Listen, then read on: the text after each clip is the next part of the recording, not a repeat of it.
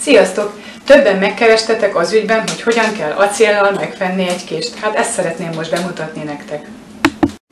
Megmutatom, hogy én ezt hogy csinálom, hogy tanultam. Jobbkezes vagyok, ezért a bal kezemben van az acél, így fogom a markolatot, hogy nehogy megsértsem az ujjamat. Ráhelyezem a kést körülbelül ilyen 45 fokos szögbe, és húzom lefele. Majd a másik oldalát szintén föntről lefele.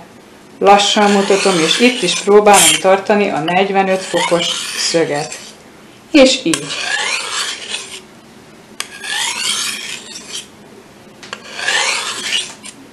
Látjátok? Föntről lefele.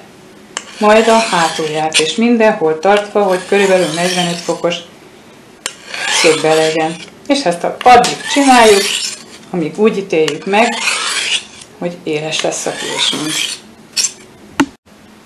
Remélem tudtam segíteni ezzel a kis apró kis bemutatással. Én igyekeztem nagyon lassan csinálni, hogy jól láthassátok. Természetesen ezt gyorsabban is tudja csinálni, aki ügyesebb. Köszönöm szépen, hogy megnéztétek a videómat. Sziasztok!